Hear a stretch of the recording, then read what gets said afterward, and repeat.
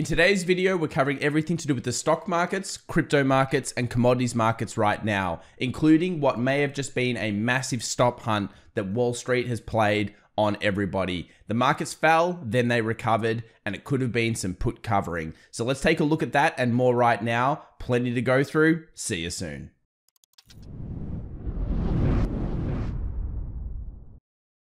All right, guys. Well, this begins our market recap for the markets closed 10th of January 2022. And when we take a look at a heat map here for the stock markets, one of the best things that we can do, no matter what market you're looking at, you'll notice it was mixed. But this does not tell the full story of what really happened in the session. When we move over to the actual indices and we take a look at the indices straight away here, you'll notice they sold off heavily at the beginning, with some markets such as the NASDAQ down as much as 2.5% at one point, and then fully recovered that point near the end of the day. And this is what we call a bit of a retail trap.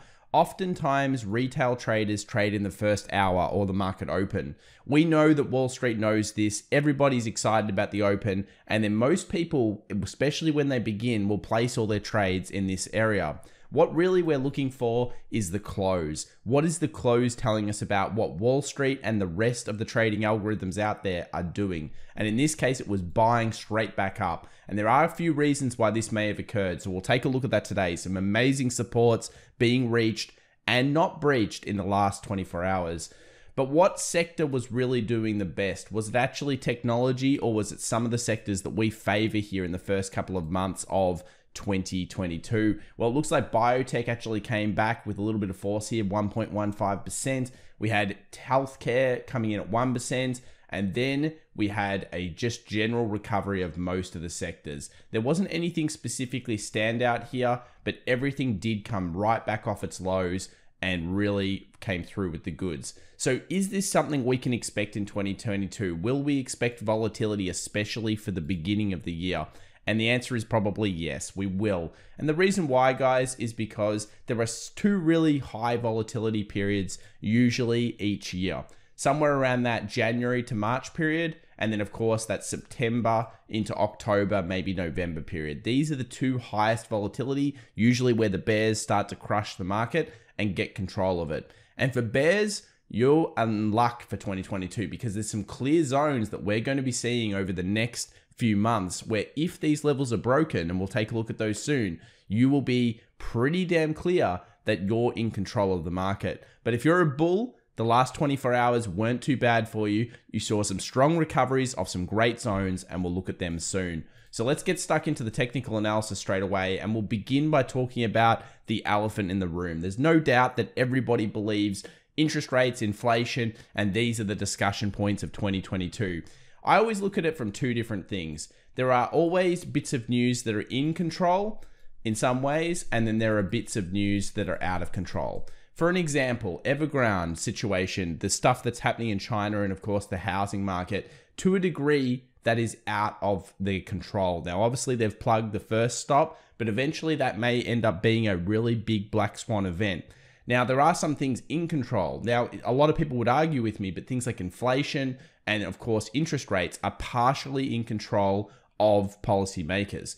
So, while markets will react negatively at some points, they're usually dip buying opportunities. They're usually an area where buyers and bulls come back into the market and they start to look at it. Remember, it's one of those buy kind of the fact and necessarily sell the rumor when it comes to this because the market here has been selling off. We can see with the two year yield, they're expecting many rate hikes now for the next two years. We're up now at 0.9% on the two year yield.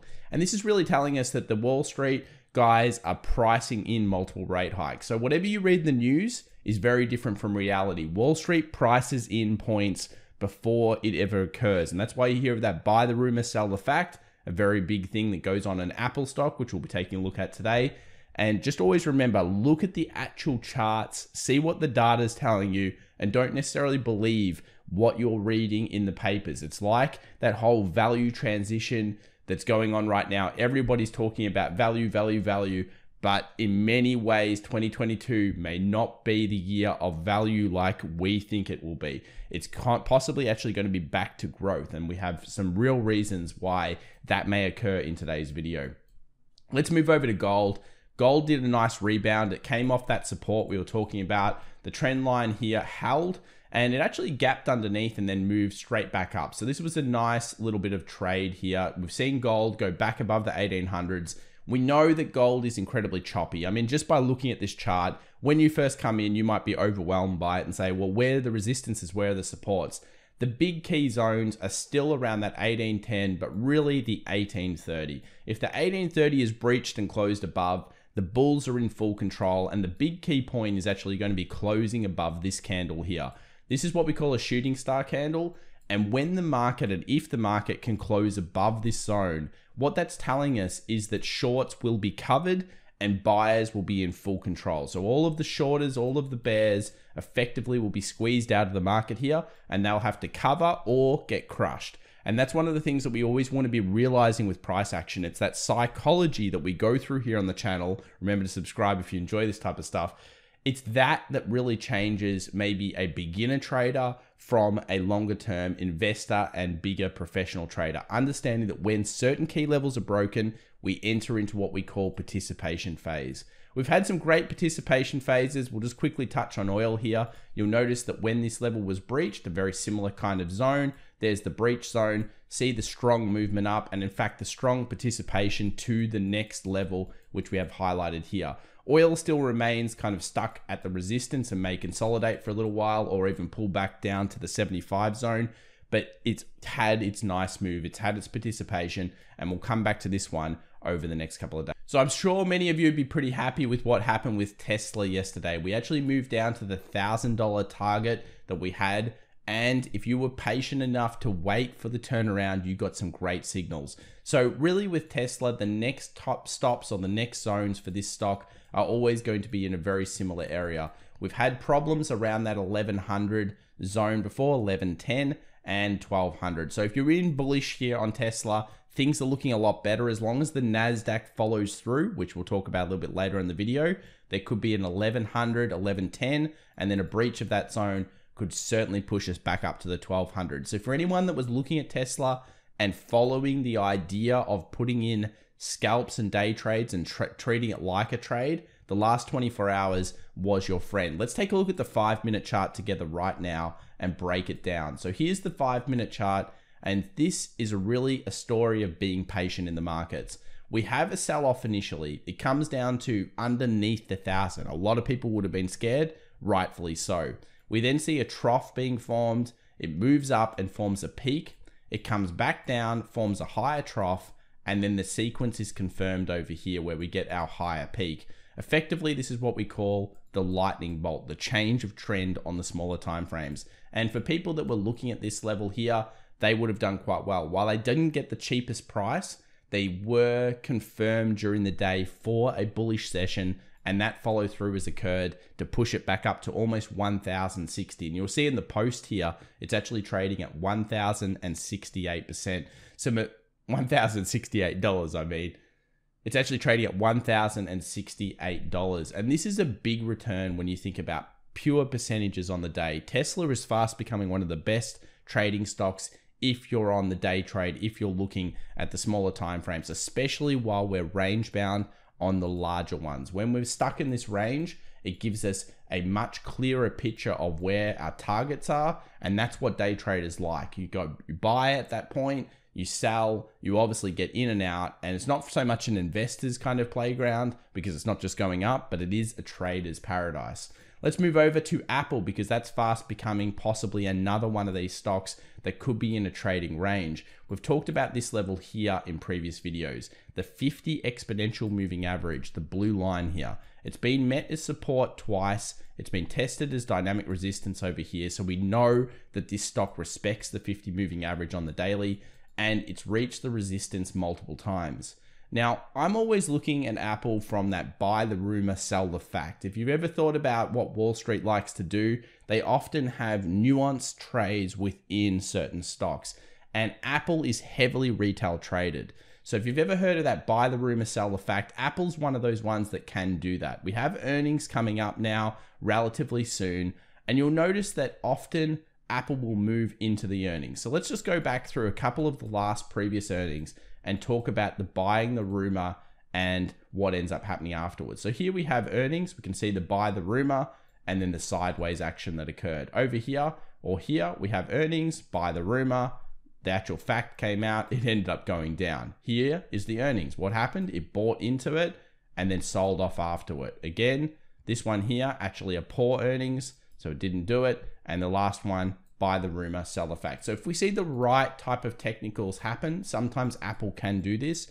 One thing that I will alert people to is Apple is being priced in growth phase again. It's not being priced like it was, where it was a very standard PE ratio over many, many, many years with outperformance on the fundamentals. It's being priced with extreme gains priced into it. So one of the things is going to be the earnings is going to be highly volatile this time around for Apple. And while it's finding support, we do have clear resistance. And this is kind of reminding me a little bit of Tesla. Maybe it's a little bit more tradey in terms of the way we look at this stock right now. Now, oftentimes we look at many different concepts on this channel, but we also talk about sectors. And many people that have been following the channel for a long time would know that I actually don't like airline stocks. I find them kind of highly risky. But here we look at a sector, and this sector has been blown out of proportion several times with, oh, it's amazing value, everything's going to look good, or oh, we're all the way back. And we can see it's been declining now for quite some time. 2022 brings in an interesting idea, and that is that we may see some of these stocks actually outperform others through this period. We do have some weakness coming in here, but the importance is we're starting to see the turnaround story in some of these travel stocks. If you look at Jets here, and I talked with the private community about this, the idea is what have we got going on? A decent amount of buying volume when it hit these lows. That's probably showing us that Wall Street hedge funds, larger funds are looking to purchase it and they are excited about this. We then effectively have a double bottom. Here's the bottom or the lows with the intervening peak here, and then we have the consolidation. So really a very nice potential setup here. It's a back above the previous supports that acted as resistance. We're now hovering here and another breakout could show, like a lot of these sectors, that things like jets are starting to turn around. The story is becoming much better on the charts. And that's what we do. We try to always focus in on the charts and find the opportunities. Another reason why some of this may be playing out is take a look at this chart here. Now, this is actually Berkshire Hathaway versus ARK K. So, of course, it's kind of like value or strong value versus innovation. We know what ARK K is. We obviously know what Berkshire is. When you put them side by side, what was the story of 2021? Value. You can see value far outperformed hyper growth or growth stocks. And that is an important factor because when we come into 2022, what might outperform potentially value? Strong hyper growth, quality stocks. When you're talking about those, that might be where we're at. And there are a few reasons why this could occur. Number one, everybody is on the value idea. Everybody's on this concept that value, value, value, value. I'm sorry to tell you, value seems to have been about a year ago. We're now reaching a point, if you notice here, between the correlations where we had previous support and we've got resistance, a very interesting zone where we could start to now see rotation. And that's why we're going to be following hypergrowth pretty heavily here in 2022 because it could be one of those areas where if you get the right ones, some of them are at significant discounts. And a lot of you guys like it out there, and you can pretty much see why it could be doing a turn. We also look at ARK K and it's down very hard. We talked about the Fibonacci. If we put a fib retracement on this entire fund here, it's come back down to a 61.8. It's literally hit that in the previous session and now it could perform a base. And you don't want to necessarily be the person that picks the absolute low here. It's always great to do so, but look at the volume. The volume is strongly up over the last previous sessions. This is showing us that there is some Wall Street purchases. Someone is buying this fund out of control and they are purchasing it larger and bigger quantities, at least in terms of transactions, than they've done it before. What we're looking for here, similar to that Tesla scenario, lightning bolts, double bottoms, accumulation bases, something like that, something to show us that the turn has occurred. But there are some strong signs that we're starting to see this rotation that could begin. It may happen over the next couple of months, and we will be watching it pretty strongly here in the first quarter. What do you guys think? Do you think it's going to occur in 2022? Are you looking at potentially growth, bio, these sectors that are hated, jets? Are you looking at those ones, or are you specifically still on board the value train? Are you still looking at value stocks only? Let's move over to the major indices, talk about those. Huge rebounds here across the board. The Russell came all the way down to the 210 kind of support zone bounce straight off it. And you know what this is it's a pin bar or hammer, as most people call it. Now, with pin bars and hammers, they're pretty good when they come off key supports. And I think when we look at the NASDAQ, you'll really see some of the key supports that were just found. But it did bounce, it moved up very hard. And if this has what we call follow through, so a continuation of the bullishness, that's going to be a good sign for day traders and possibly even a good sign for investors that we may have just put a bottom in. So we're going to be watching IWM very closely. Remember, we do not want it underneath this 210 level. If it happens, bad things could go on with the market. So this is the right point for it to turn around. Speaking of the NASDAQ, what happened there? Well, the NASDAQ did it again. It's come down to our channel, guys. Look at this. The trend line continues to be the buy zone. We suspected as much. It sold off very hard straight into this zone in the previous session. It was almost allowed to free fall straight there. And where does Wall Street pick it up? Exactly on this point. So they bought straight off the trend line. We've been talking about this now for, oh, I would say months. We used it a lot in 2021 and it seems to be working here in 2022. But there are good signs both ways because bears, you know where you win. You get underneath this, close under that, you're on. Bears, you are in control. You are going to get that 10, 15% correction that you're all waiting for. And who knows, there may be more, but probably around that period. This does give us a definitive spot. The great thing about TA is we get critical zones and we know exactly where things are really going to be turning. And it's hard to be a bear in the markets. Often people say, I short the market, I short the market. If you shorted off what you would have thought is a horizontal support, you could have got obliterated in the previous session. So you've got to be very careful about shorting in comparison to longs. And this is going to be one of those pivotal points. Now, what we're looking for in the next session is, of course, follow through. You're looking for the market to continue this bullish story, continue up. Once it goes above there, there's going to be momentum. And the next stop for it, you would think, is around that 1600 to uh, 16,200, somewhere around that zone. You would think it kind of finds some resistance pressure. But it's more than just the NASDAQ. I mean, you'll again notice here the NASDAQ comes down to the trend line, hits it, straight up buys through it. It's more than that. It's got to do with the SPY.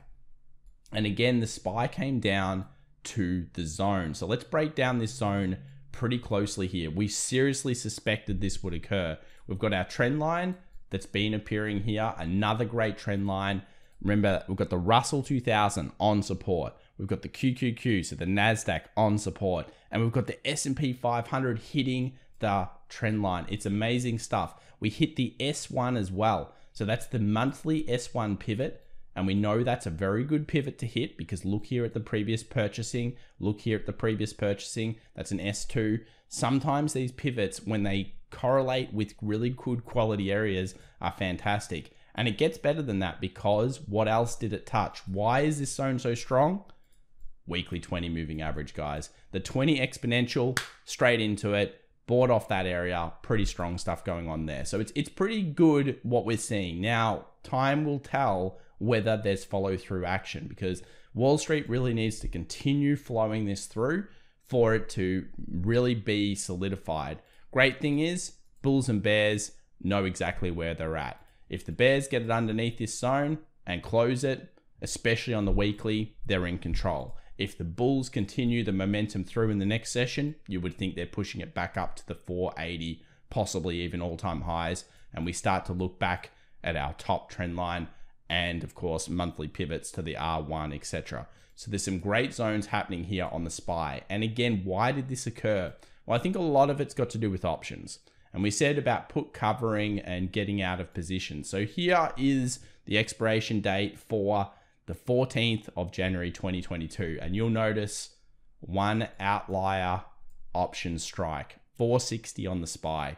So 460 was breached, possibly some covering going on there as well. And then instantly it was bought back above. Wall Street, are looking at the 460 zone. 460 is one of those put what we call put walls here. It seems to be a point where you don't think this week would expire underneath, and I think that's a big position why it's moved straight back up. So very good put wall here that was in play, and you can get access to this data if you want to. Seven day free trial in our comment section down below. You'll notice the private trading community. You can always come in and try it out. There's no reason why you shouldn't. And let's move over to the next week. So, what's happening in the next week? Well, again, it becomes a little bit random in terms of strikes here through the middle, but we do have a little bit of a top strike. This is what we call a call wall. Very unlikely that Wall Street will be able to push past 500. Now, that's a big ask for it anyway, but there are a lot of calls there. There's a good chance that even if we were to go up heavy, heavy, heavy, heavy, heavy, we will not be able to breach that by the 21st of January. So 500, we'll continue to monitor that always get your big option strikes out because when you can bring them together with your technical analysis, it can be quite helpful. Let's move over to the crypto space now. Now, the crypto space continues to hover, continues to be a little bit weak here. We see Ethereum holding that 3000 base. It's a big psychological zone for it. We know that Ethereum has struggled quite a lot like Bitcoin. And when we move over to it, what we really need to do is rally above these highs. So we probably need around 3250 plus in terms of Ethereum. Once we breach that zone, we've put in an accumulation base and you would think next stop 3600. So 3250 probably now forming a good resistance area for us to be breaching above should we be going long. Bitcoin is similar. The king here, of course, of crypto. It always tends to be, I always treat, treat it like an index, really. If crypto is going to crash, Bitcoin is the one that's going to do it. It's going to bring every single one of the coins down with it. And there are some positive signs in the last little bit of trade. We went down, we hit a new low, and then we fully reversed it. What is it? Pin bar, bullish hammer. So let's think of the story so far. We have long leg doji, kind of like a long leg doji, rejection candle. What do we need to do? Breach above the previous resistances. So if we go down here to the two hour, we've put a base in now, we've potentially stop hunted in the last little bit of a session. And for crypto traders, we're looking at that 43,000 level. We get past 43,000, we've got through the accumulation base, we've done a classic stop hunt here at that point, And if we breach, great news. Accumulation base may be in, we move towards that 46 problem zone. So there are some good trades potentially coming up here on the crypto markets. Bitcoin will lead the way. It's always the one that we have to look at. And that may have just been another stop hunt through the markets overall. What do you guys think about that? It's, it's looking much better. So, big news for the week ahead. Of course, Fed Chair Powell testifies in the Tuesday session. May or may not move the markets around. I'm sure it'll increase some volatility there all eyes are on the Fed and what Powell is going to be talking about, especially, of course, to do with interest rates. Then we've got core CPI data coming out Wednesday. This is all New York time. PPI data on Thursday. And Friday, we have core retail sales. So there's a lot of information, a lot of data for the US. Most of this is probably going to be okay. It's really probably all eyes on the Fed for now and what is going to be said. I always look at it as the market's going to do what it feels like anyway. And most of this stuff is preordained in the markets trading. So let's see a follow through. If we do, good for the bulls. And you bears out there, if you're getting excited, I don't blame you because if it gets underneath those key zones, weekly 20 moving average on the S&P 500, wow, it could be on to the bear side and it may be an early bear blood year in terms of what's going on. But the salmon haven't come out yet, guys. You're still in hibernation. We'll see you in the next video. And also, just a quick shout out to everybody. If you haven't already subscribed, please do so. But we do want your comments. What would you like to see on the show in 2022? What types of things like us to have on the show? Because if there's certain stocks or the certain sectors that you want us to cover and everyone agrees on these things, we'd like to poll you, find out what you want, and then, of course, change it for your needs. So I'm really excited to see what you guys think and what you would like to see in 2022. I'm excited for this year. It's going to be a great trading year. I can already feel it. We can see it in the charts also. Bye for now.